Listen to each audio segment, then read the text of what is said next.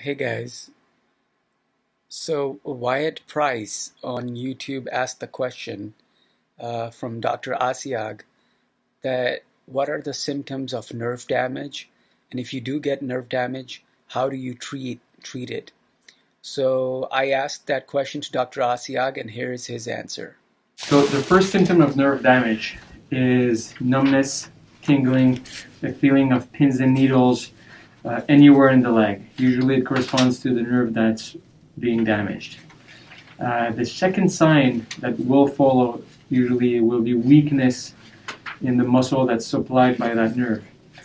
Uh, so if you notice, the ones that I always check are the big toes, the ankle, the foot, uh, because those are usually the first that will show kind of symptoms. And the last symptoms, those symptoms that occur when we've missed the boat are complete paralysis of, uh, of either the foot, the ankle, the knee. So those are the symptoms. Ideally, we want to catch any nerve issue when they're at the pins and needles uh, stage, basically. It's a good question. Thank you.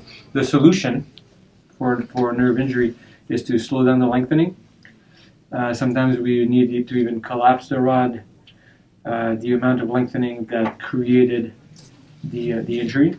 So if, to say something, the nerve symptoms appeared two days ago and you've been lengthening for one millimeter per day, you collapse two millimeters, you reassess, and then you start slower.